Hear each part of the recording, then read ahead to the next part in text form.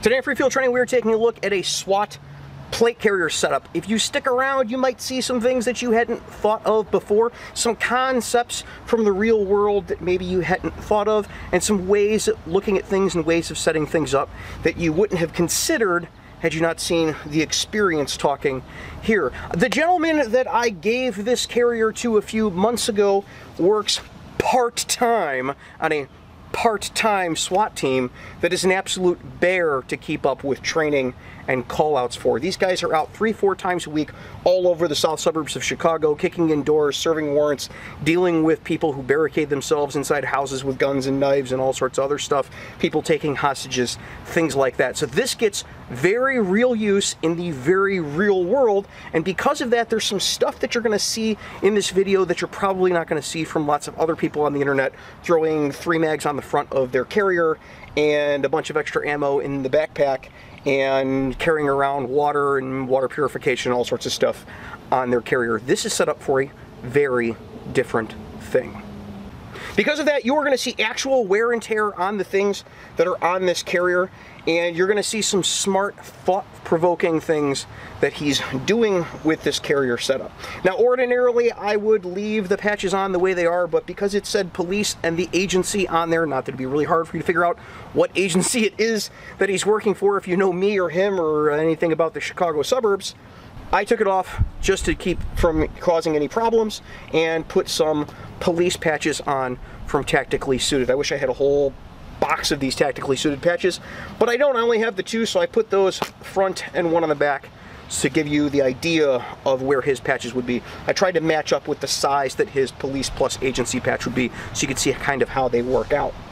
So up front, he's got his identification, normally has a name tape across the front of it, and you see comms. Comms are extremely important for a SWAT team. He is one of the team leaders and the training coordinator for that team, so he's almost got two full-time jobs between patrol and doing this, and for that, comms are extremely important. We've got an Atlantic signal push-to-talk here.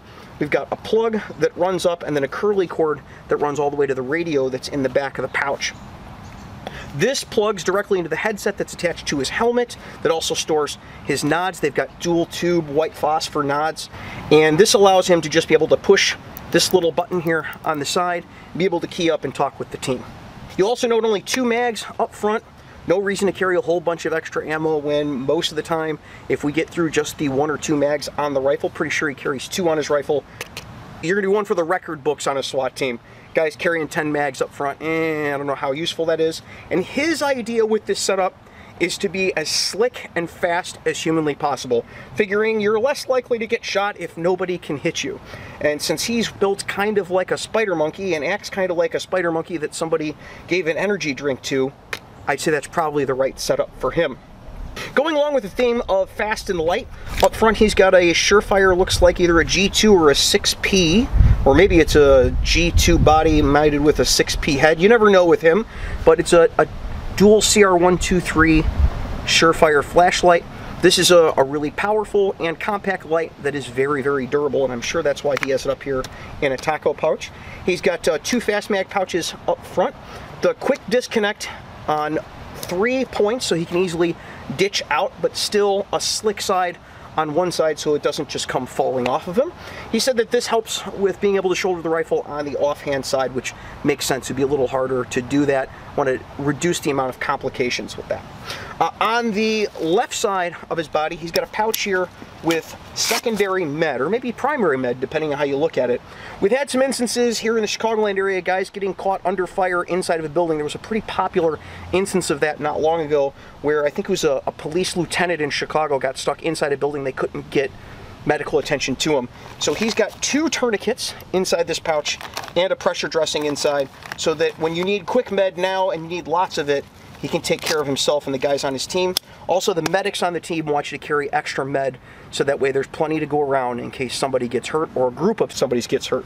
Remember, from a SWAT perspective, they never know what they're walking into or how long they're going to be there, so they need a little bit of sustainment. They have logistics people that can bring them water and food if they just get held down somewhere for a while, but med is an absolute priority.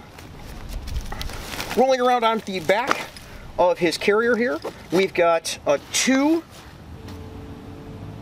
chem lights. He's got a day glow chem light He's got a normal chem light and then an IR chem light. Again, dealing with night vision all the time. He's got his radio in the back here, and we've got the flap here that's normally over it.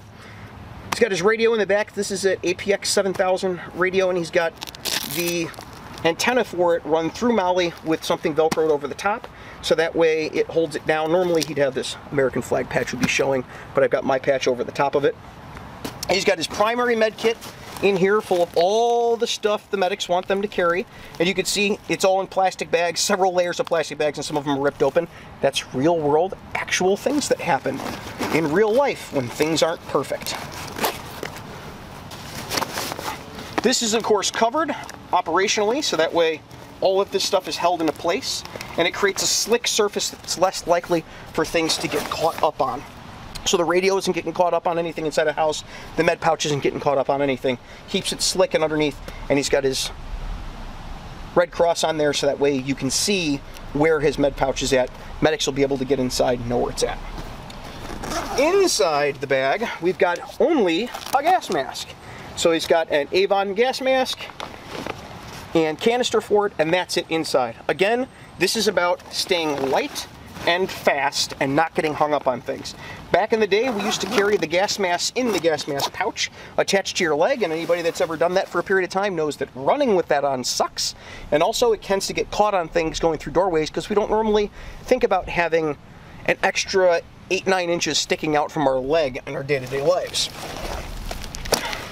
On this side of the bag, we've got another IR chem light and a normal glow chem light. On the far side, we've got a 3A soft armor panel in here with two normal chem lights on the side and a little pouch here that's currently empty. I'm sure it's probably some issued team gear. Inside of this, there are two ceramic plates because their primary threat that they're worried about is explosives and rifle threats, and not in that order. So he's got level four standalone ceramic plates in this, which makes it pretty heavy. Because it's pretty heavy, even though the Agilite K19 comes with plenty of soft, squishy material up here, he's got gel pads on the, both sides of the tops in order to give himself some more cushion. And then on here we've got a steel hook. I actually have one of these on one of my setups uh, that was uh, uh, tactically acquired in order to keep your sling of your rifle from rubbing up against your neck. Again, if you're carrying a rifle around and wearing armor 16, 18, 24, 36 hours, that sling rubbing on your neck is a real problem. He's got a dangler down here, and in this is just chem lights and an extra radio battery. Now these radio batteries for the APX 7000, I have a couple of these for work, and these will run me a, 16 hour shift, just one of them. So between this one and the one in the radio, we've got some real talking power on here. You can talk on this and talk on this and talk on this. So for SWAT purposes, where you're not talking on the radio a lot, sitting on a barricade or something, for a couple of days you could spend before you start running out of radio battery. He's got a bunch of extra chem lights in here. And then down here, we've got a rubber wedge for holding doors open. Uh, the idea of this is instead of having to find something to hold the door open, you can take this, shove it between the door and the jamb, or shove it up at the top in the mechanism and hold the door open without having to have somebody holding a door open or finding something to jam in there. They don't weigh a lot and the rubber tends not to break. And they're pretty cheap, especially if you hang out in abandoned warehouses all the time breaking doors for extra SWAT training. It says he's just laying around on the floor in various places. And finally up front on the carrier, we've got a notepad, a marker, and a pen. Because these are the things you need in order to collect information and then relay it to somebody else without having to directly tell them.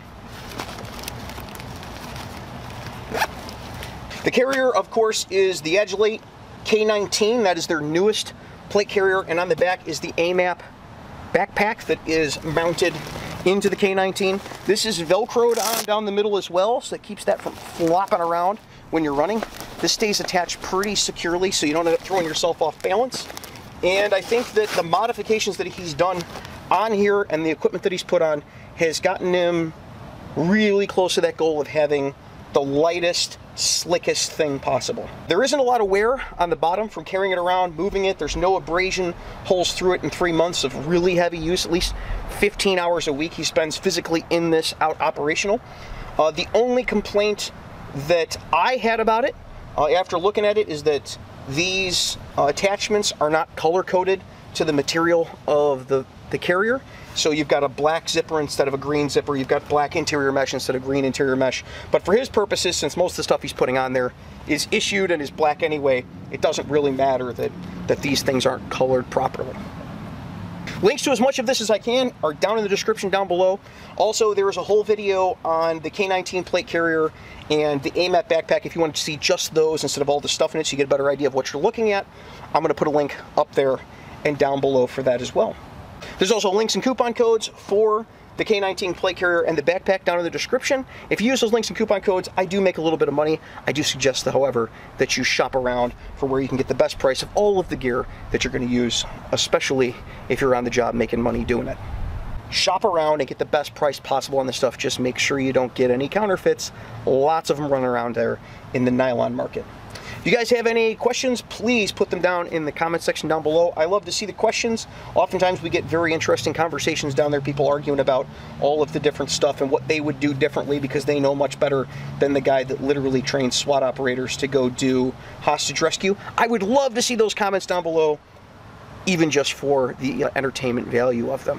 If you have any questions about what's on here, something that I didn't cover, put those down in the comments down below. I'll do my best to ask him and, and get back to you with an answer, but normally the community is pretty good about uh, giving you the answer before I ever get to it. Until next week, you guys be safe and take care of each other. Hey, thanks for watching Free Field Training on YouTube. And while you're here, why don't you check out some of these other goofy videos that I've made?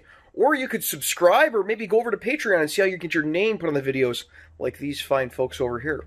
All the links are, of course, down in the description.